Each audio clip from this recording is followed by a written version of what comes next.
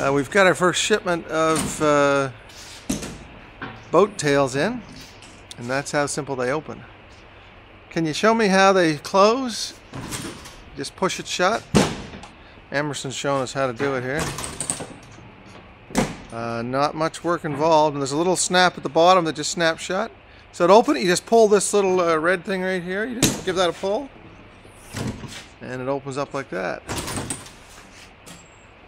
You just come in here, give this a little pull, and you'll see all the mechanism up there. It's spring loaded. Just opens up. Very simple.